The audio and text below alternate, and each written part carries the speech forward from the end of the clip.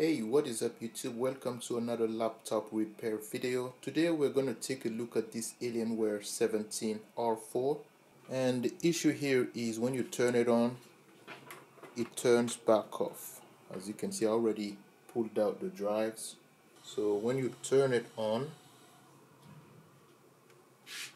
it turns itself back off after the fans spin for a few seconds as you can see.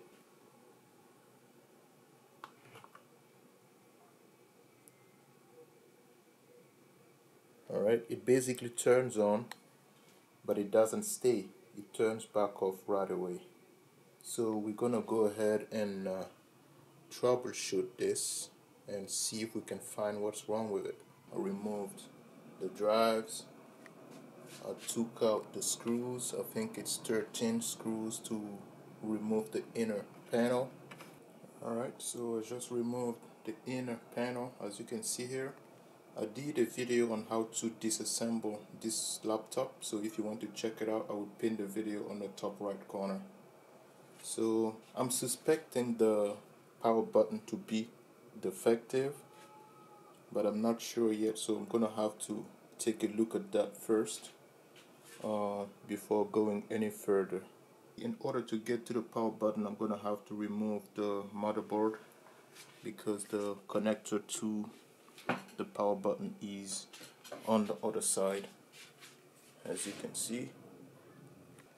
Alright so the motherboard is flipped. As you can see here it was a lot of work. Uh, again I would be pinning a video on how to disassemble this laptop on the top right so you can follow the instructions. Uh, but here is the board for the power button along with this ribbon cable. So it's still uh, uh, sending the power on signal but for some reason it turns off right away. So we're gonna go ahead and give this a try. I'm gonna reconnect it if I'm able to reconnect the battery. Alright so I removed the power button as you can see alright so the power button is connected. Let's uh, give it a try. I can actually see a small burn on the PCB right here next to the power button. Hopefully this is what caused the problem. So we can go ahead and replace the power button and the small assembly and potentially fix the issue. If I was to guess what caused this damage I can only think of static electricity I will link an article on how to avoid static electricity in the video description so you can keep your electronics safe. So I decided to just buy a brand new power button and here it is. So let's go ahead and get it out of the package.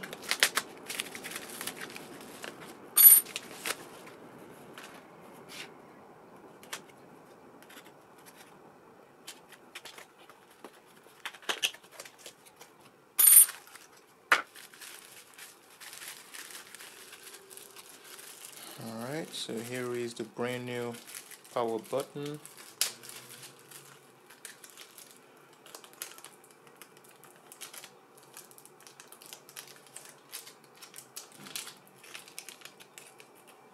And as you can see, comparison between the two.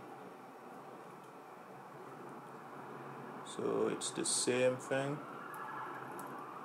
as you can see alright so let's go ahead and install this and see if this is gonna solve the problem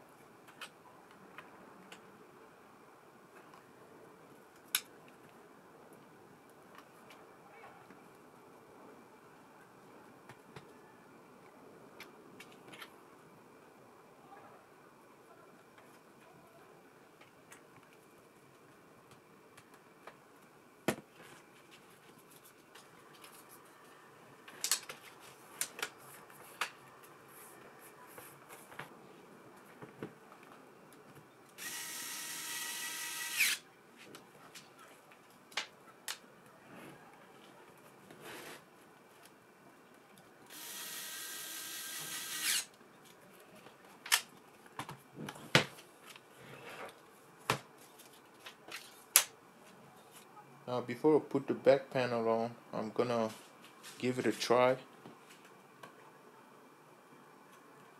This is gonna be the moment of truth.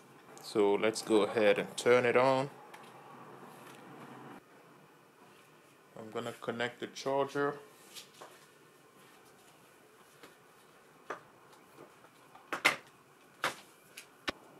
The power button is lit up as you can see.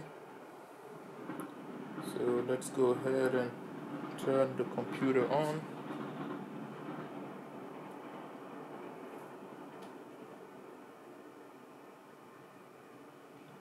Alright we boot up.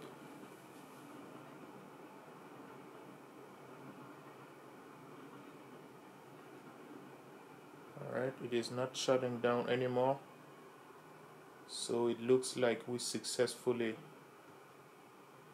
repaired this problem.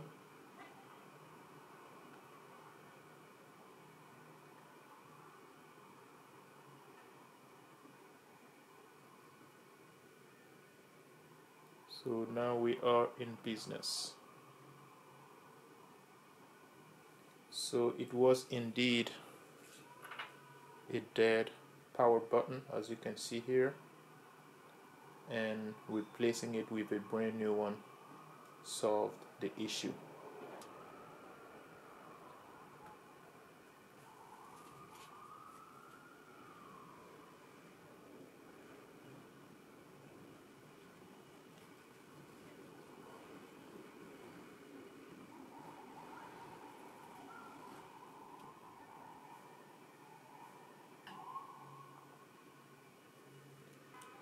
Alright, so as you can see, we successfully diagnosed and fixed the issue, and it was indeed a faulty power button, as you can see here. And ordering a brand new button and swapping it out did solve the issue. So if this video was helpful, make sure to drop a like, subscribe, and stay tuned for more videos. Thank you for watching and see you on the next video.